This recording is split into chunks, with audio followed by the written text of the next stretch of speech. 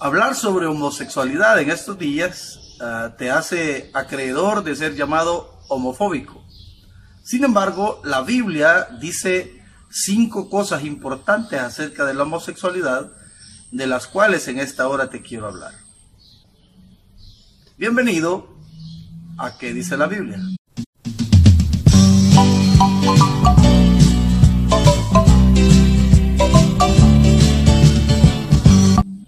Escuchado a las personas que dicen yo nací homosexual, Dios así me hizo. Sin embargo, científicamente no se puede demostrar tal cosa.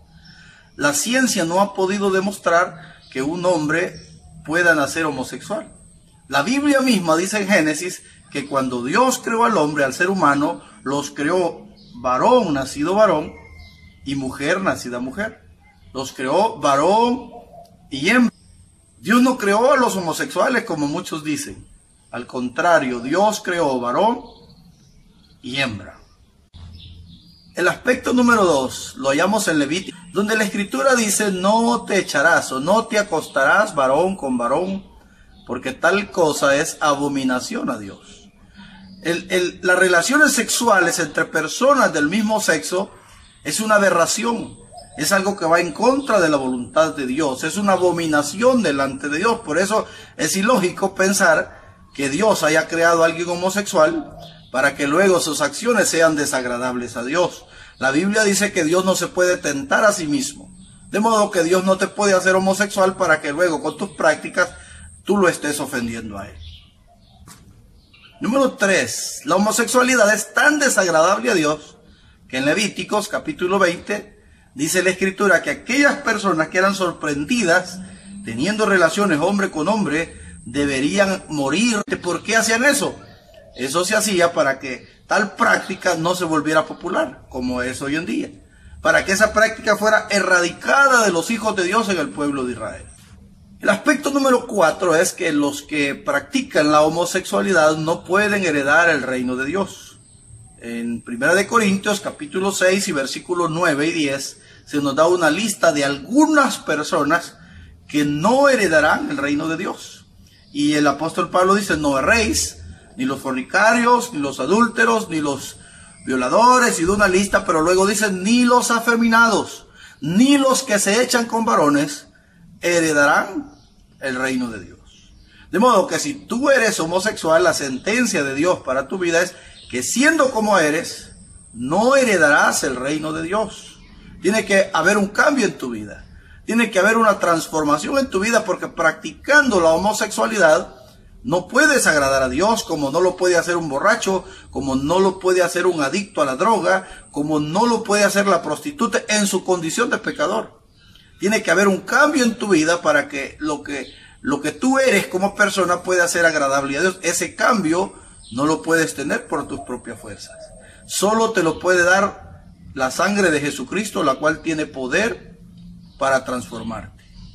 El aspecto número 5 es el más importante que tú debes conocer, ya que si bien es cierto tu vida como homosexual es desagradable delante de Dios, Dios no te va a señalar tu pecado sin darte una salida. Dios no va a señalar tus errores sin darte la oportunidad de de cambiar y de ser una persona diferente.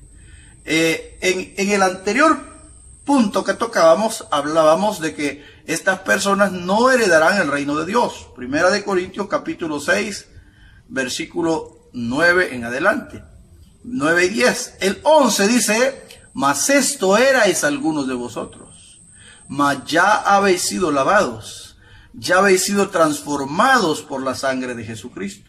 De modo que dentro del pueblo de los corintios, dentro de la iglesia de los corintios, habían muchos hermanos que habían sido homosexuales. Por eso Pablo les dice, esto era, allá habían habido ladrones, allá habían habido homosexuales, allá habían habido toda clase de pecados.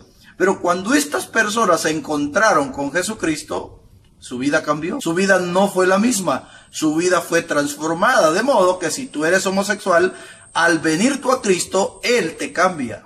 Él te puede transformar, Él te puede hacer una vida nueva.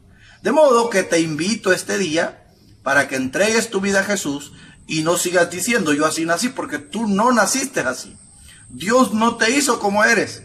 Prueba de ello es que tú, siendo hombre, no puedes quedar embarazado. Tú siendo hombre no tienes la menstruación como cualquier mujer. Tú siendo hombre no puedes concebir, no puedes amamantar a un bebé, porque Dios no te hizo mujer, Dios te hizo hombre. Y que por cuestiones de pecado tu vida cambió y has tomado ese rumbo de vida, yo no te estoy juzgando por eso.